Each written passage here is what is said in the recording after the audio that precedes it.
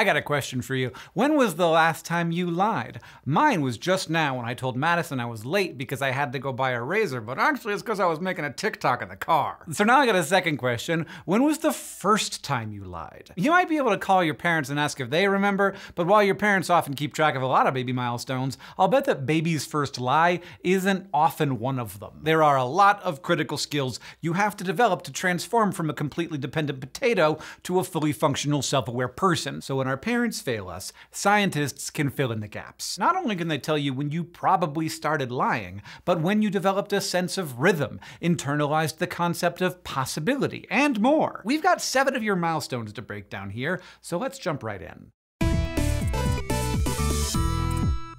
Research shows that people lie pretty much every day. For me, the most common lie is the one I tell myself. I'll remember that. I don't need to write it down. And it's well established that kids as young as three and a half years old are able to lie, although usually kids that young are telling really poor, flimsy lies.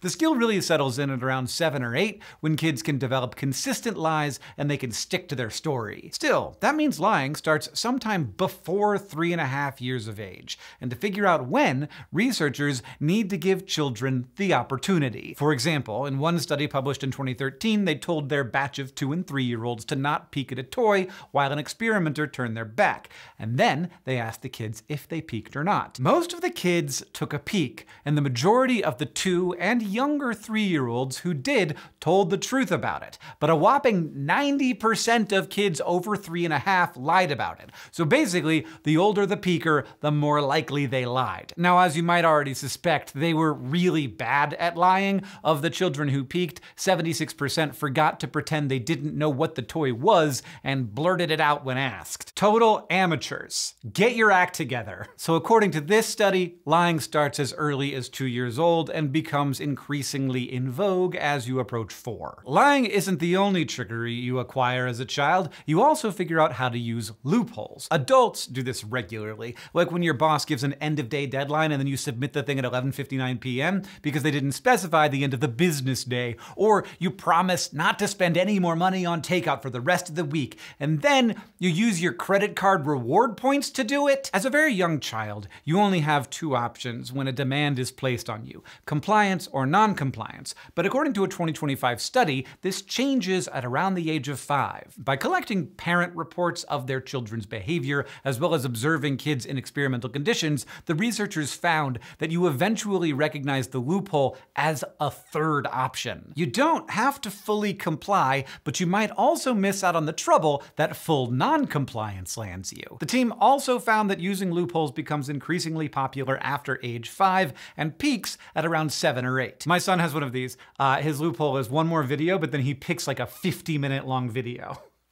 Good job, buddy. I didn't notice at all. It's worth noting that the scientists found these mental gymnastics weren't just used because they cleverly avoid compliance. According to the kids, they found this kind of malicious compliance funny. So if your boss is upset about the pre-midnight submissions, just tell them to blame your five-year-old self. That's the one who started it. That inner five-year-old child can probably empathize with your boss though, because childhood is also when you first develop empathy. In a study published in 2025, researchers looked at babies both in the UK and Uganda to investigate how cultural differences influence the development of empathy between the ages of 9 months and 18 months. But this is a little harder to study than, say, kindergartners using loopholes there are plenty of ways you can feel empathy for another person without that feeling manifesting actual words or even actions. And nine month olds are notoriously hard to interview. So this particular study measured empathy using two metrics. First, whether the baby demonstrated concern through their facial expressions,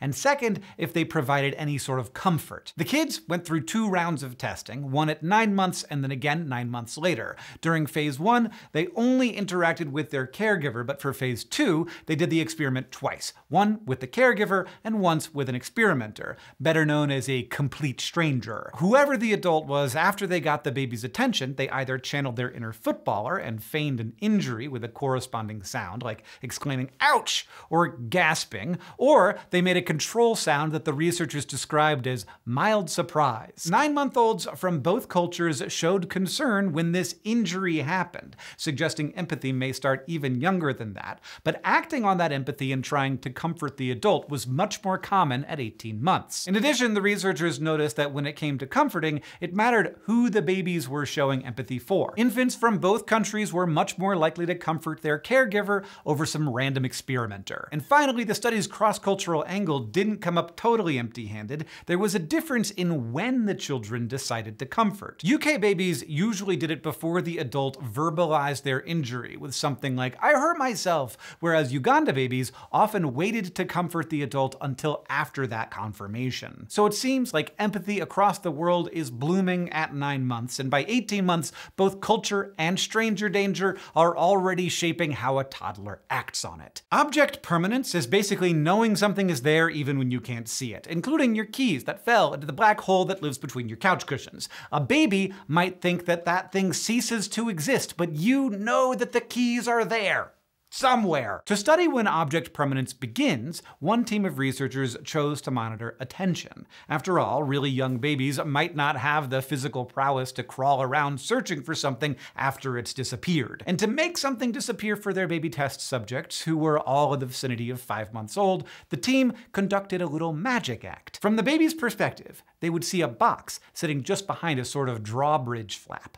Eventually, that drawbridge would raise and block their view of the box. In one condition, when the bridge hit 90 degrees, it'd lower back down to its starting position, ostensibly because the box blocked it from rotating any further. But in the other, the bridge would continue to rotate past where the box used to be, doing a full 180 degree until it hit the ground, and then return to its starting position, revealing the box once again. While magicians never reveal their secrets, scientists have to in the methods section, and you can read all about this experiment there. To a kid who had not developed the skill of object permanence yet, this would be no big deal, but to a kid who had, this would be impossible. The study's cohort of five-month-olds stared longer at this apparent vanishing act than at the control, which the researchers interpreted to mean they realized something weird was happening. They expected the box to still be there. However, that is not the only way researchers decide if a baby's figured out object permanence, and study results can vary depending on how you choose to hide an object from view. So if you volunteer your 14-month-old for one of these things, and they seem to be struggling, that does not mean they're behind schedule. And to be fair, we all know an adult who must still be working on object permanence, like my friend, who as soon as he puts his glasses down, swears that they glitch out of existence. And by friend, I mean just a friend. You know, just some guy. So it took baby you months to finally figure out that things outside of your body exist even when you can't see them. But what about things going on inside your body? Interoception is the ability to feel pretty much anything going on inside your body, be that a full bladder, an empty tummy, or my personal favorite, anxiety. And at some point in babyhood, you had to start paying attention to those little whispers from your body. But just like all of our previous skills, you can't ask babies if they're actually aware of their need to go pee or feel their heart heart pounding in their tiny baby chests, and so on. So, to find out when some interoception starts, researchers behind a study published in 2025 used cartoons.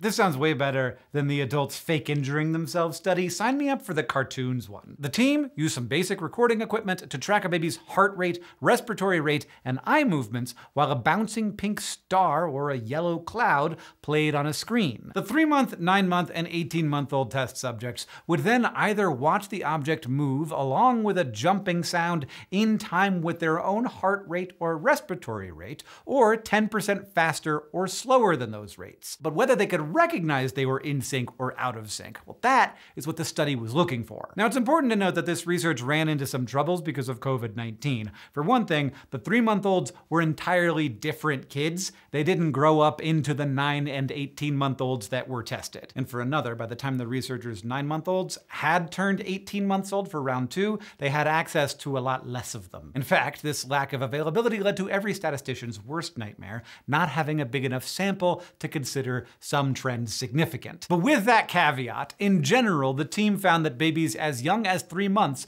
preferred to watch the objects that moved in time with their heartbeats. For respiratory rates, the data were more mixed. That might be because of the sample size, but it did seem like at least nine-month-olds preferred the characters in sync. So more research needs to be done, but this study suggests that you can have a concept of your own heartbeat as early as three months old, whereas your own breathing may take longer to become aware of. But speaking of wanting things to be in sync, when I say we all had to develop a sense of rhythm, you might immediately think of someone who you know who seemingly never did that. Well, a study published back in 2009 in the journal Cortex investigated how well six-month-old babies can recognize rhythmic and melodic changes in a musical pattern. And once again, the researchers used attention as an indicator. They had a particular repeating musical sequence play through a speaker in the room with the baby and an experimenter. And when the time was right, the experimenter subtly hit a button so that the sequence would change slightly, either its rhythm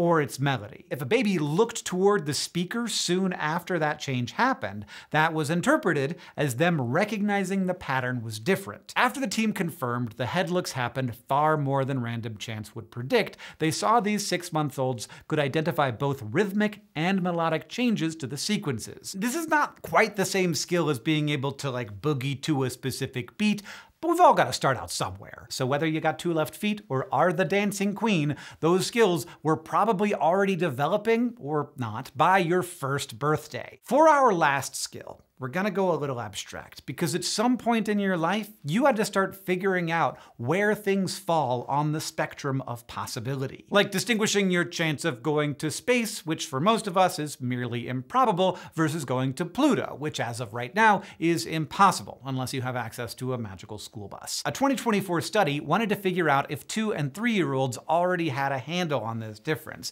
And what better way to test toddlers than with a gumball-like machine that dispensed little little toy objects. The toys were either pink or purple in color, and depending on the experimental condition, it looked like the machine was only filled with purple, an equivalent amount of purple and pink, or something in between those two ratios. This helped create the odds that the children had to work with. But regardless of how many of each color there was, the prize that came out was always pink. So some kids were staring at a machine with only purple toys, but reached in and pulled out a pink toy anyway. That was dubbed the impossible condition. Regardless of what was in the machine and what came out, the experimenter would give the toy a gibberish name for the child to learn, and then the child would need to identify that toy among the other toys that had been introduced with different but equally fake names. The idea here was that the kids assigned to the impossible condition would recognize something was amiss and pay extra attention while learning that toy's name. And the results showed exactly that. Both the two and three year olds in the impossible condition remembered that gibberish word better than even the super duper unlikely condition when there was only one pink toy visible inside the machine to start. In other words, the toddlers could distinguish between a possible 2.5% chance and an impossible 0% chance, which seems pretty fancy for people who are still potty training. Working with participants who can't speak can make a researcher's job a bit harder, but but through some creative thinking and well-placed cartoons, even babies can be studied. And thanks to that, you can now confidently approximate when you first started lying or figured out the impossible. As for me, I'm gonna keep wondering where my glasses are when they are in fact on top of my head. Maybe I should just go ahead and get the bifocals. Is it time?